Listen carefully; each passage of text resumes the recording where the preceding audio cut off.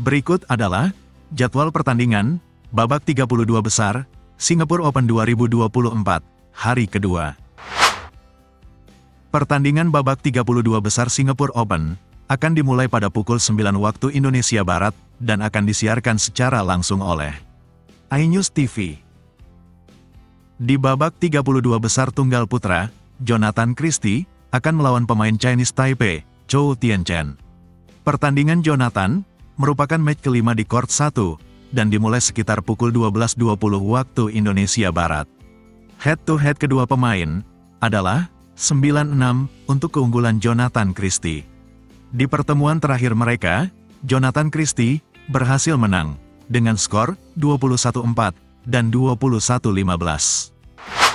Anthony Sinisuka Ginting akan melawan pemain Malaysia, Lee Zijia. Pertandingan Ginting merupakan match ke-9 di court 2, dan dimulai sekitar pukul 15.40 waktu Indonesia Barat. Head-to-head -head kedua pemain adalah 5-1 untuk keunggulan Ginting. Di pertemuan terakhir mereka, Ginting berhasil menang dengan skor 18-21, 21-16, dan 21-15. Chico Aura Dwi Wardoyo akan melawan pemain Prancis, Thomas Junior Popov. Pertandingan Chico merupakan match ke-9 di court 3 dan dimulai sekitar pukul 15.40 waktu Indonesia Barat. Head-to-head -head kedua pemain adalah 0-2 untuk keunggulan Thomas Junior Popov. Di pertemuan terakhir mereka, Chico harus kalah dengan skor 22-20, 14-21, dan 19-21. Di babak 32 besar ganda putra, Fajar Alfian, Muhammad Rian Ardianto, akan melawan wakil Jerman, Bejarne Geis, Jan Colin Voelker. Pertandingan Fajar Rian merupakan match ke-11 di court 2, dan dimulai sekitar pukul 17 waktu Indonesia Barat. Head-to-head -head kedua ganda putra adalah 0-0.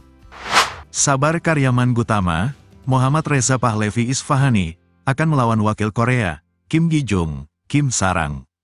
Pertandingan Sabar Reza merupakan match ke-15, dimulai sekitar pukul 20.40 waktu Indonesia Barat, dan court yang digunakan menyesuaikan. Head-to-head -head kedua ganda putra adalah 0-0. Di babak 32 besar ganda putri, Apriani Rahayu, Siti Fadia Silva Ramadanti, akan melawan wakil India, Simran Singhi, Ritika Taker. Pertandingan Apri Fadia merupakan match ke-12 di court 1, dan dimulai sekitar pukul 18.10 waktu Indonesia Barat. Head-to-head -head kedua ganda putri adalah 0-0. Di babak 32 besar ganda campuran, Dejan Ferdinandsyah, Gloria Emmanuel Wijaya, akan melawan pasangan Hong Kong, Tang Chunman, Se Ying Sweat. Pertandingan Dejan Gloria merupakan match pertama di court 1, dan dimulai pada pukul 9 waktu Indonesia Barat. Head-to-head -head kedua ganda campuran adalah 2-1 untuk keunggulan Dejan Gloria.